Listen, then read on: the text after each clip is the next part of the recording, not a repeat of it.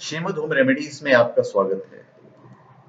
और हम आपको बताएँगे कि हमारे भारत में 11 तरह की कमाई है, जिन पर टैक्स नहीं लगता है, जिन पर कोई टैक्स नहीं देना पड़ता है।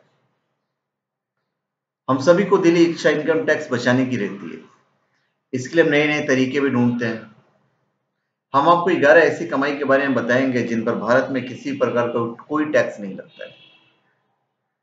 सबसे पहले बचत खाते के ब्याज पर। वर्ष 2013 में section 18 sorry section 80 section 80 TTA पेश किया गया।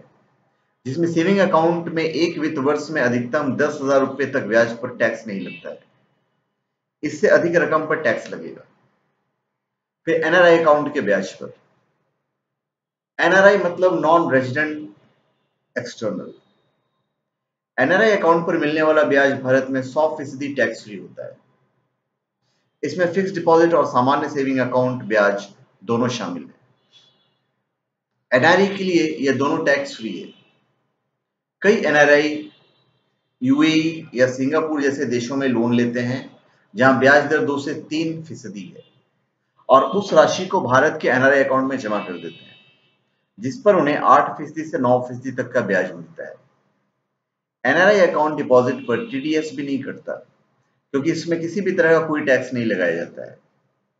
एनआरआई अकाउंट में जमा संपत्ति किसी भी एक देश से दूसरे देश में लाई जा सकती है। फिर प्रॉफिट का एक हिस्सा फर्म के पार्टनर को देने पर टैक्स एप्लीकेबल नहीं होता है।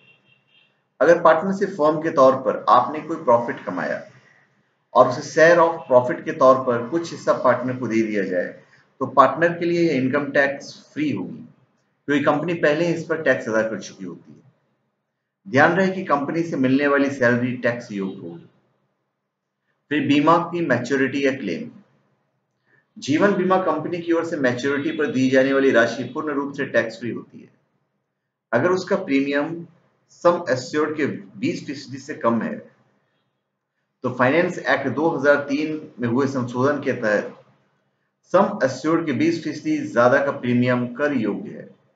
उदाहरण के तौर पर अगर सालाना प्रीमियम दस हज़ार रुपये है तो टैक्स छूट के दायरे में आने के लिए सम एस्योर्ड पचास हज़ार रुपये का होना चाहिए।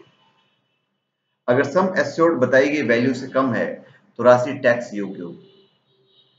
फिर नियोक्ता से दिया गया एलटीए। कई कंपनियाँ अपने कर्मचारी को हर वर्ष एलटीए देती है, जिसे कर्मचारी अपने परिवार के साथ घूमने के लिए इस्तेमाल करता है। यात्रा का प्रमाण देने पर इस राशि पर टैक्स नहीं लगता है। यदि आपकी कंपनी आपको एलटीए नहीं देती है तो आप अपनी सैलरी का कुछ हिस्सा एलटीए के मद में डालने के लिए अपनी नियोक्ता से कह सकते हैं। फिर वीआरएस की पाँच लाख की राशि। अगर किसी व्यक्ति ने वीआरएस यानी कि वॉलेंट्री रिटायरमेंट स्कीम लिया है तो पाँच लाख रुपए तक की प्राप्त राशि टैक्स फ्री होगी। इसके लिए सब लोग योग्य नहीं है। केवल सार्वजनिक क्षेत्र की कंपनियाँ या फिर केंद्र या राज्य सरकार की अथॉरिटी के कर्मचारी ही योग्य हैं। फिर पाँच साल बाद ईपीएफ की राशि। ईपीएफ अकाउंट से मिलने वाली राशि टैक्स फ्री होती है। लेकिन इस सर्विस के पाँच वर्ष के बाद की गई निकासी पर योग्य होता है। कई बार निवेशक अपनी नौकरी तीन से चार साल के भीतर ही बदल देते हैं और ईपीएफ का पैसा निकाल लेते हैं। ऐसे में उन्हें टैक्स देना पड़ता है।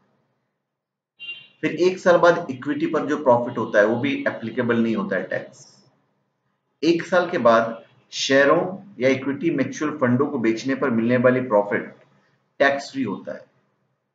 यदि आप खरीदे गए शेयर या म्यूचुअल फंडों को अपने पास कम से कम एक साल तक रखते हैं तो उन्हें लॉन्ग टर्म कैपिटल गेन कहा जाता है। भारत में अभी यह हंड्रेड फ़ीसदी टैक्स फ्री है। फिर शेयरों का लाभांश जो है, वो भी टैक्स फ्री है।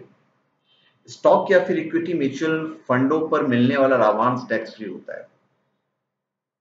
कंपनी अपने शेयर होल्डर्स को लाभांश देने से पहले सरकार को डिविडेंड डिस्ट्रीब्यूशन टैक्स का भुगतान कर चुकी होती है। इसकी वजह से कंपनी के प्रॉफिट में कम हिस्सा मिलता है, लेकिन जो भी मिलता है वो टैक्स फ्री होता है। फिर वेडिंग गिफ्ट्स। शादी पर उपहार के रूप में मिलने वाली राशि और कीमती चीज़ें भी टैक्स फ्री होती है। शादी पर दोस्त या रिश्तेदार से मिले गिफ्ट्स टैक्स फ्री होते हैं। लेकिन इसके लिए ज़रूरी है कि वो सुनिश्चित कर ले कि आपकी शादी की तारीख और उपहार मिलने की तारीख एक जैसी है। आप ऐसा नहीं कर सकते कि शादी के एक दो साल बाद उपहार के रूप में मिली राशि पर टैक्स छूट का दावा कर सके। ऐसा नहीं है। इतने इतने दिन बाद नहीं होता टैक्स फ्री फिर वसीयत या विरासत में मिली राशि। भारत में अभी तक किसी तरह का इनहेरिटेंस टैक्स नहीं है। मसलन वसीयत या फिर विरासत में मिली संपत्ति या राशि टैक्स फ्री होती है। वो आपकी प्रॉपर्टी बन जाती है और उस पर केवल कमाए गए इंटरेस्ट पर कर देना होता है। भारतीय समाज में प्राचीन काल से वसीयत बनाने का नियम है। तो ये टैक्स फ्री होता है। तो धन्यवाद। आप हमारे चैनल पर सब्सक्राइब करें और अपने कमेंट दीजिए। धन्यवाद।